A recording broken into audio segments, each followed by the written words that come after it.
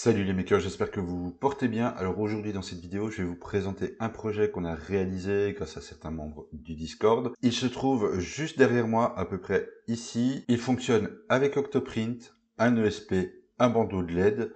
Il est autonome, donc il est sur batterie, et il va vous permettre de garder un œil sur vos impressions en cours que vous avez lancées via Octoprint.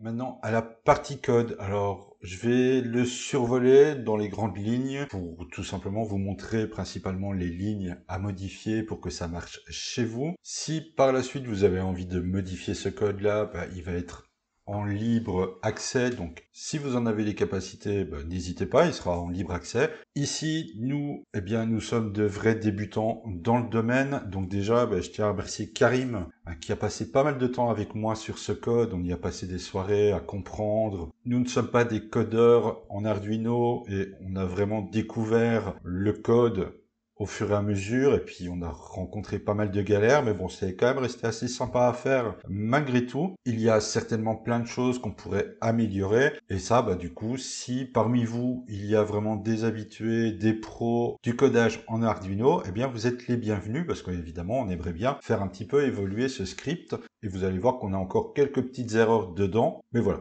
nous, on a été euh, au plus loin de nos capacités à ce niveau-là. Donc, c'est avec grand plaisir que si quelqu'un a envie d'y toucher, de l'améliorer et dans le même esprit que nous, le partager, bah surtout n'hésitez pas à prendre contact avec nous via le Discord. Ça serait super sympa. Comme ça, on pourrait faire peut-être une version améliorée. Mais en attendant, ça fonctionne et je vais vous montrer tout simplement ce qu'il y a à modifier pour que celui-ci fonctionne donc avec Octoprint. Ici, dans la première partie, on a tout ce qui est librairie qui sont nécessaires à son fonctionnement. Vu la majorité des viewers qu'il y a sur cette chaîne, normalement cette ligne-ci, en ligne 57, c'est le NTP client, c'est la ligne de code qui permet en fait d'aller récupérer l'heure sur un serveur en temps réel.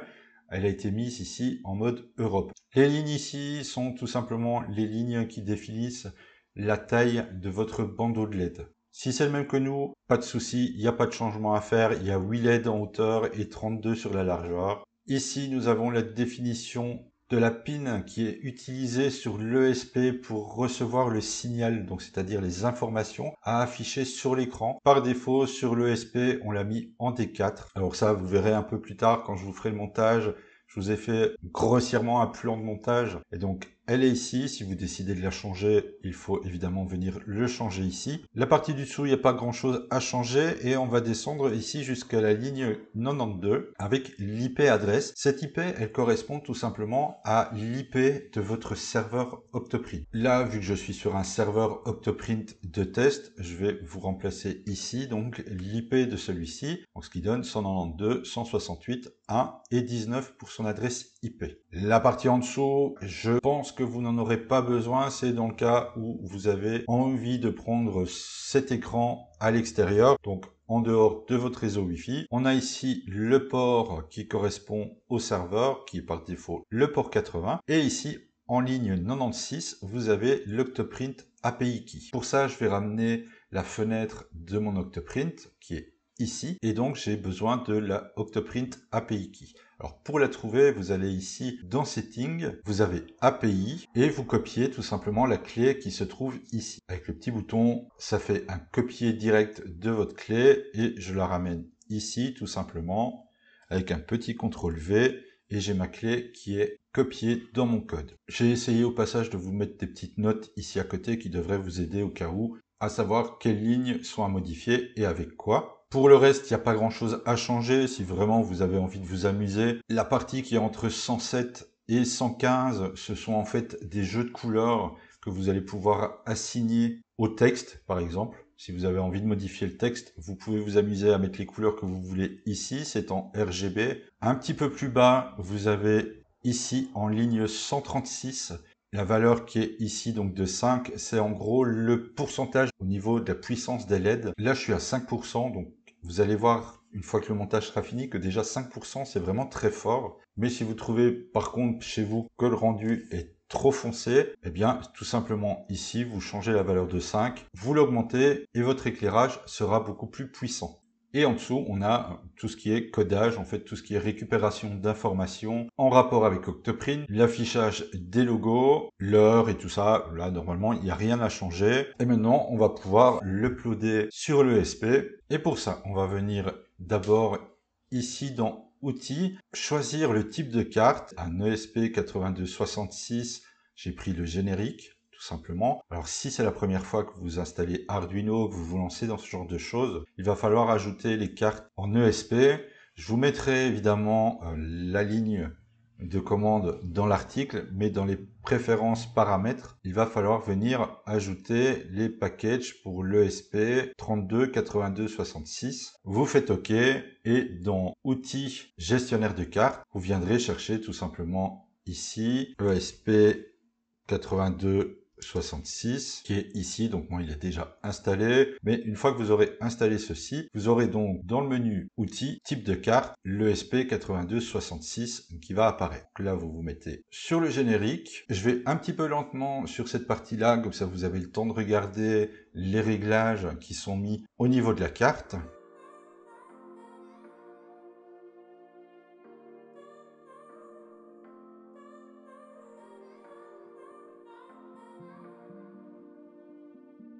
Ici dans Erasplash, par contre, un petit détail, moi je vais le placer temporairement sur Sketch plus le Wi-Fi, car en fait, au premier démarrage de l'ESP, il va falloir rentrer les valeurs de votre réseau Wi-Fi chez vous pour que votre ESP se connecte évidemment à votre réseau Wi-Fi. Mais une fois que vous l'aurez fait, si vous faites des mises à jour, des modifications dessus, pour éviter de devoir à chaque fois reconfigurer le Wi-Fi, repasser en Only Sketch. Ici, évidemment, on choisit le port com de notre ESP.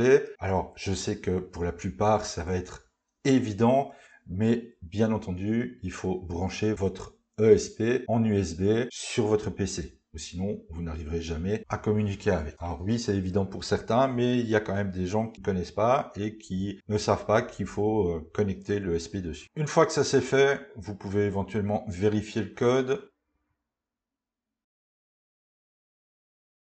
C'est bon, on n'a pas d'erreur, on va pouvoir le lancer et le téléverser sur la carte. Et voilà, c'est terminé, donc le code est injecté dans le SP. On va pouvoir passer maintenant à la suite. Passons maintenant tout doucement à la partie du montage. Alors avant de commencer le montage électronique en lui-même, je vais quand même vous montrer un petit peu comment ça se passe au niveau de la boîte qui a été créée autour de ça. Alors encore une fois, comme d'habitude, moi j'ai commencé à faire un truc euh, sur Fusion et puis finalement c'est repassé encore dans les mains euh, pour pas changer de fixe qui a amélioré un petit peu le design et euh, réglé quelques petits soucis auxquels j'avais pas pensé évidemment. Et c'est ça qui est vraiment bien dans cette communauté de Discord, c'est qu'on a tous voilà des petites compétences un peu différentes et en les mettant tous ensemble, on arrive à parfois à faire des trucs plus ou moins sympas. Donc ici, je vais vous montrer brièvement, c'est la boîte qui va contenir donc tout le matériel, donc le bandeau de LED, l'ESP, la batterie, le bouton, le module de charge. Et deux versions ont été réalisées. Alors, il n'y a aucune différence entre les deux, sauf principalement au niveau de la taille, car le bandeau, évidemment, est très grand. J'ai l'avantage donc d'avoir la Tronxy qui me permet d'avoir un plateau de 330 et j'ai pu imprimer toutes mes pièces en une seule fois. Donc on a ici le boîtier en lui-même qui comprend donc d'un côté le trou pour venir mettre le bouton on-off. De l'autre côté, on a un petit support pour le module de charge. Il suffit juste de venir le glisser à l'intérieur et si nécessaire, vous avez un petit point ici qui vous permet d'avoir une petite vis pour le bloquer avec évidemment donc l'entrée pour passer votre câble en USB. Les petits coins qui sont ici, c'est justement pour venir supporter le plateau qui contient le bandeau de LED, qui vient du coup se placer comme ceci, avec un petit trou pour passer le câble pour arriver en dessous.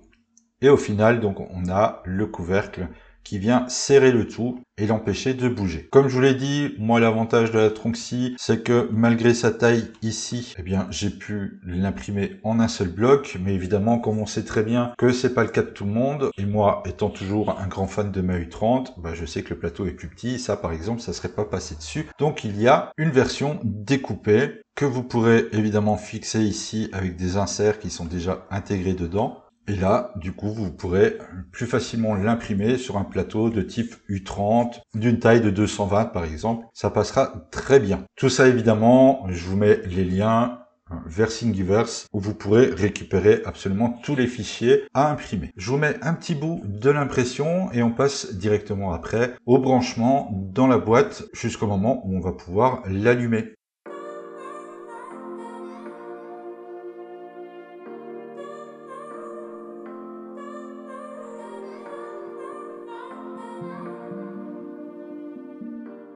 Donc voilà, les pieds sont imprimés. Je vais pouvoir maintenant faire le montage. Vous allez voir, c'est relativement facile à faire. Il n'y a pas grand chose. Alors moi j'avais déjà placé quelques éléments car évidemment j'avais testé le tout avant histoire de voir que tout s'allumait donc le bandeau, la charge, que la batterie ça fonctionnait et tout. Ici je vais tout simplement terminer ce petit montage. Comme je vous l'ai dit je vous ai mis un plan pour vous montrer grossièrement comment c'est fait. Donc je vais pas trop trop m'attarder là-dessus. Mais bon, on va quand même le terminer ensemble. Donc évidemment, j'ai encore rien de fixé à l'intérieur. Au niveau du module de charge ici, vous avez sur les extrémités, donc de chaque côté, ce sont les deux fils qui vont aller se connecter à l'ESP. On a ici au milieu les deux câbles qui viennent pour la batterie. Là ici dans cette petite boîte on a donc l'ESP avec en dessous donc les câbles qui passent pour alimenter le ruban de LED. Alors j'aurais pu choisir d'autres couleurs mais bon j'ai pris le noir et le rouge pour l'alimentation, le blanc pour le signal. Moi ce que je vais faire ici principalement c'est ici donc les deux câbles qui sont là c'est utiliser un câble de récup que j'avais d'USB qui n'est que Hein, de charge pour venir le placer donc sur l'ESP, entre l'ESP et donc les deux câbles du module de charge.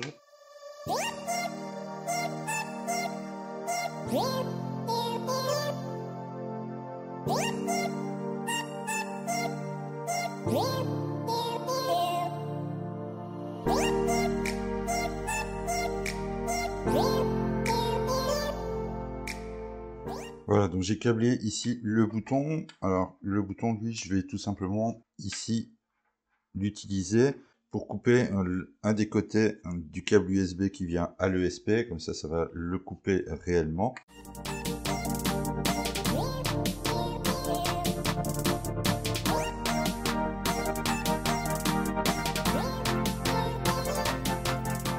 Donc voilà, mon interrupteur est en place. Maintenant, je vais faire la même chose de l'autre côté pour le plus. Alors, toujours un peu de gaine thermo, c'est toujours pratique. Et voilà. Hop, je ramène ma gaine. Et c'est protégé. Donc normalement, là, euh, si j'ai bien fait mon truc, si je branche le SP, et avec le bouton, il s'allume. Et donc si je l'éteins, voilà, il est coupé. Donc la dernière chose qui me reste à faire, en gros, c'est de brancher un LED dessus. Alors par contre, le petit truc, c'est que, alors je vais vous ramener, hop, comme ceci, c'est que moi évidemment la boîte ici c'est celle qui a servi de prototype, donc euh, vu la masse je vais pas la jeter non plus.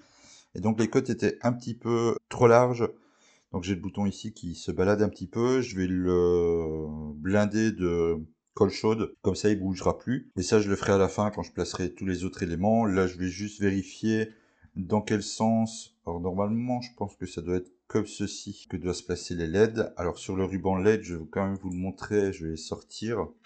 C'est qu'à la base, vous avez des câbles qui sont ici et ici. Euh, c'est des rallonges et des ajouts pour l'alimentation. Vous n'en avez pas besoin, donc je les ai retirés. J'ai vraiment gardé que celui dont j'avais besoin. Alors juste histoire de vérifier dans quel sens je dois placer mes LED, euh, je vais connecter donc les câbles qui sont ici. Celui-ci qui vient pour le signal qui va donc au milieu. C'est un peu con d'avoir euh, mis euh, ici 5 volts, le GND et le signal dans cet ordre-là, et puis d'être parti un peu au milieu, mais bon, voilà. L'alimentation ici en 5 volts, qui est en réalité donc sur l'ESP en 3 volts 3, hein, mais ça suffit largement. Et donc la masse qui est ici. Et du coup, ben, on va juste voir hein, pour euh, voir si ça fonctionne. Si je l'allume, Donc je sais pas si vous la voyez, mais elle est là. Donc les LED s'allument bien. Alors évidemment, vous avez peut-être du mal à le voir ici, parce que c'est en plein jour, et donc tout s'allume correctement. Alors moi je le lis, il y a bien l'heure qui s'affiche, ça vous verrez tout à la fin. Donc du coup moi les LED ça fonctionne, le système fonctionne, donc 13h56 quand je fais la vidéo normalement. Et j'ai donc plus qu'à fixer tout ça. Donc je vais donc du coup éteindre, ça, ça sert à rien. Je sais que les LED donc partent dans ce sens-ci. Je vais enlever ça. Donc ça veut dire que comme ça, il est en haut. Donc les trois câbles là, c'est le haut du ruban. Je vais le placer ici sur le côté. Je vais déjà faire chauffer mon pistolet à colle. Je vais donc pouvoir ici, je vais mettre plein de colle partout pour en rajouter. Donc là, je vais pouvoir fixer ma boîte quelque part. Ça me laisse un peu de temps, tant que celui-ci chauffe, de voir comment je vais arranger ça. Donc voilà, c'est chaud. Je vais en profiter vite fait. Je vais déjà fixer ça. On peut y mettre des vis, hein, mais bon. Je vais le faire avec le pistolet, ça ira plus vite. Voilà, ça c'est fait. Maintenant, ce que je vais faire, c'est venir bloquer mon bouton, histoire qu'il bouge plus. Ce que je vais faire, c'est que je vais essayer d'équilibrer un petit peu euh, au niveau du poids. Donc, je vais venir placer, je pense, la batterie comme ça ici au milieu. Je vais essayer déjà de faire un petit peu de rangement au niveau des câbles. Hop, je vais profiter de ça. On va les coller un peu aussi euh, dedans. Alors, il est éteint. Je peux venir donc brancher l'ESP via le câble USB. Alors, pourquoi on l'a fait comme ça? Parce qu'après réflexion, on s'est dit qu'on ne sait jamais. On pouvait se tromper à mettre le câble là pour le mettre à jour ou ce genre de choses-là. Donc il faudra malgré tout l'ouvrir pour venir débrancher l'ESP s'il y a une mise à jour à faire. Et il me reste du coup les câbles au niveau de l'alimentation, au niveau plutôt du ruban de LED. Donc je vais prendre les Dupont tout simplement comme ça pour les placer. Est-ce que je fais pareil? Bon, allez, tant qu'à faire, on n'est plus à ça près. Un petit peu de colle chaude par-dessus, et comme ça je suis sûr qu'ils ne bougeront pas, qu'ils ne se feront pas la malle. Je pose le tout à l'intérieur, voilà, comme ceci. Alors, je vous le montre, mais on verra ce que ça donne. Je suis pas sûr de le laisser pour le moment. J'ai tenté, j'ai tenté une découpe de plexi euh, ici, mais euh, vous voyez que je l'ai un peu foiré, donc elle a cassé. Donc il me restait un morceau de film miroir temporaire. Euh, ça flash quand même beaucoup. Alors je sais pas si je vais la laisser, on verra bien. Mais du coup, voilà, c'est pour un, peu atténuer. Si vous, si vous parvenez à avoir une petite plaque comme ça mat à mettre par dessus, ça aide beaucoup à la lecture.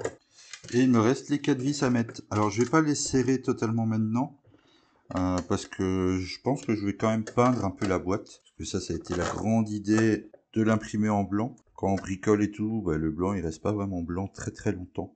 Et donc voilà à peu près euh, ce que ça pourrait donner. on va voir quand même ce que ça donne, parce que je l'ai pas essayé encore, je l'ai monté en même temps que vous. Donc euh, on voit la petite diode qui s'allume pour dire que ça fonctionne et on a l'horloge et tout. Alors évidemment ici, il ne reçoit absolument aucune information d'Octoprint pour l'instant, étant donné qu'il n'est pas actif. Mais je trouve déjà euh, le premier jet comme ça euh, plutôt sympa. Moi ce que je vous propose maintenant, eh bien, c'est de le tester tout simplement en réel. C'est-à-dire que je vais lancer une impression et je vais me balader avec euh, dans différents endroits chez moi pour le placer tout simplement voir si ça fonctionne très bien. Alors j'ai failli oublier un petit détail, alors juste avant de vous montrer le résultat final, évidemment moi quand je fais la vidéo, le boîtier est déjà configuré, mais c'est pas encore le cas chez vous. Vous avez simplement injecté le code dedans, vous avez monté certainement le système, mais évidemment, il se connecte pas encore réellement à Octoprint. Pourquoi? Parce que vous avez injecté le code sans les paramètres Wi-Fi. Alors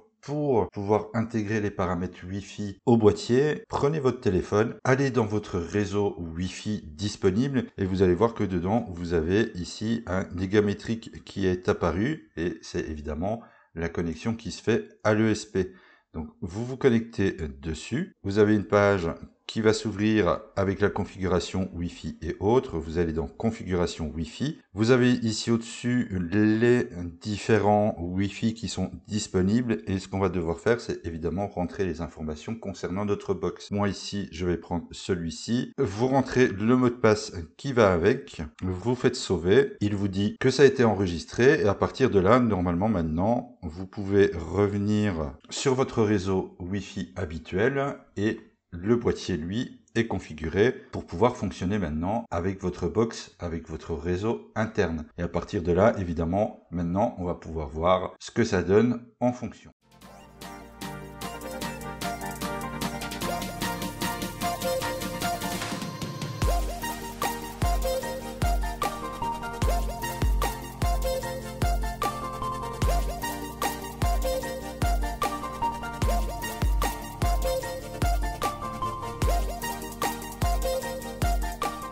Voilà, donc j'ai fait le tour du projet, je vous ai tout montré, que ça soit sa fabrication, le code, euh, comment l'installer et tout et tout. Je vais donc clôturer en faisant un petit récap vite fait de tout ce qui est mis à votre disposition. Donc je ramène ici le petit site. Alors tous les liens, vous allez les trouver en description. Sachez que sur le site, vous allez retrouver absolument tout le nécessaire à la fabrication, donc tous les éléments dont vous avez besoin, le fichier pour Thingiverse pour l'impression, le lien pour le code Arduino à insérer dans l'ESP. Vous avez le plan de montage que j'ai fait grossièrement ici en dessous avec une petite image de l'ESP. Donc sur le GitHub, vous allez retrouver le fichier à injecter, toutes les librairies que vous avez besoin pour le faire fonctionner, donc qui sont ici dans un fichier rare. Vous décompressez ça dans votre dossier de librairie, comme ça vous êtes tranquille. Et sur Thingiverse, ben, vous avez tout simplement tous les fichiers à imprimer. Je vais même vous fournir les fichiers qui ont été utilisés pour Fusion 360 au cas où vous voudriez faire des modifs. Donc encore une fois, c'est quelque chose qu'on a fait en partant de rien, sans grande connaissance. Donc évidemment, il risque d'y avoir des petites erreurs dans le code, des choses à améliorer. Et si vous en avez envie, ben, n'hésitez surtout pas à nous le faire savoir, à faire des modifs et qu'on puisse le partager avec tous les autres. J'espère que l'idée de ce projet vous aura plu, que ça vous donnera peut-être l'envie de le faire. N'hésitez pas évidemment à liker, à commenter et aussi éventuellement, si c'est pas encore le cas, à vous abonner à la chaîne car on a encore d'autres projets en cours de préparation qui viendront bien plus tard. Et puis aussi, je tenais à remercier Patrice qui a souscrit à la chaîne pour la soutenir. Donc un grand merci à toi. Si d'autres personnes ont envie de le faire, bah, ça se trouve tout simplement dans la description. Et moi je vous dis à bientôt dans une autre vidéo.